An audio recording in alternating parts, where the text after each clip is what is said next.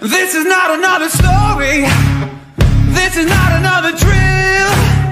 I refuse to be another number now. Never staying down. This is something real.